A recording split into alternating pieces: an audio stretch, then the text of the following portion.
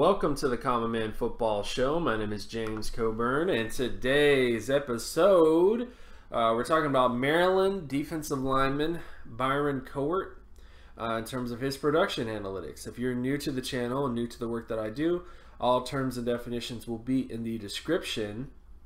All that stuff out of the way, let's get to his production profile. So first off, uh, Byron had a 41.33 Solo tackle score, a 77.82 sack score, and a 52.30 tackle for loss score.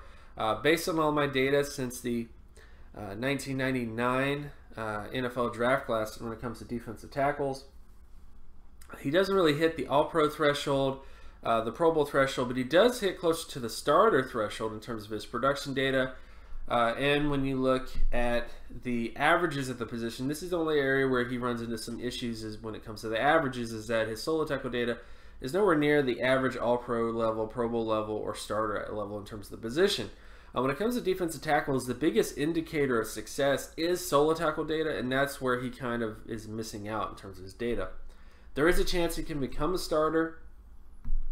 There have definitely been some defensive tackles uh, potentially in the past that have become starters with as low of a solo tackle score. Uh, but overall, he is someone I think is a bit of a risk uh, at the position because of lacking the solo tackle data, uh, if you will. So uh, we'll see where he ends up. Uh, he's a guy that definitely had a good off season. in terms of you know the All Star events, you know he did well at those events, at least according to the people that were on the ground there. Uh, and ultimately, it will be the combine to see how athletic he is to determine what comes next.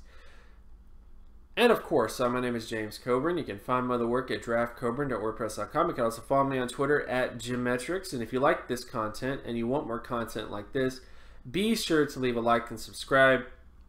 Share this video as well with anybody that you know. Hit that notification bell in case you want to be reminded when another video of mine drops. And I'll talk to you guys in the next episode. Peace.